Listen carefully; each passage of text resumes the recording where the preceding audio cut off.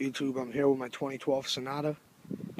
I haven't seen anybody do this video, so I'm going to show you guys. Just dropped in a brand new Injen cold air intake. I actually installed that today. Sounds amazing, but uh, video doesn't suit it, doesn't give it justice. Let me start it up for you guys.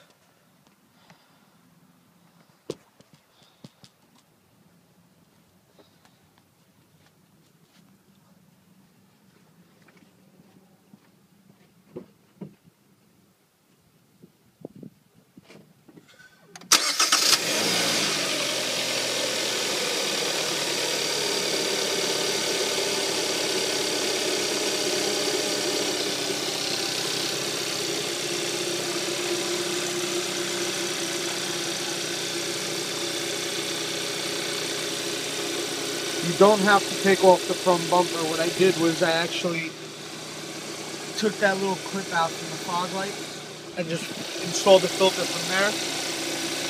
You have two little ground wires right there.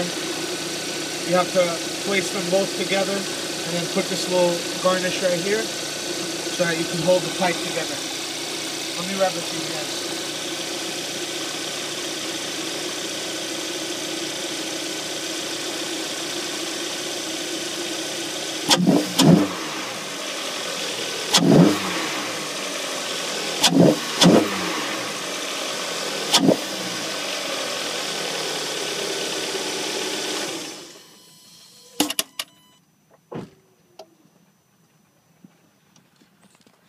Well, guys, it's my cold air intake.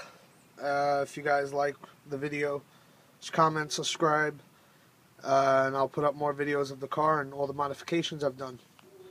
You may be wondering why I don't have my front grille. It's because I am actually painting it at the moment. Just finished putting three coats of primer, four coats of gloss black, and that is my OEM grill.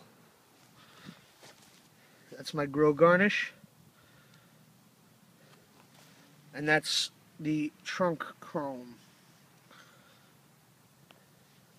Well guys, see you next time. Have a good day.